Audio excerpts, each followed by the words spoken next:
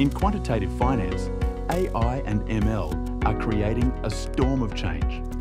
Where are the key areas where they can have the biggest impact on quantitative finance? AI and ML can process massive amounts of data and uncover hidden patterns. Risk assessment and management, real-time monitoring of market risk, taking into account macroeconomic and competitive factors.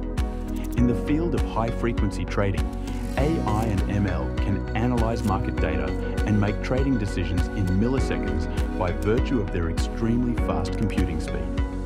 Utilising complex algorithms, AI and ML can quickly seize trading opportunities and realise quick profits. The TSAI platform has been actively exploring the application of AI and ML in quantitative finance. In the future, they will create even more possibilities.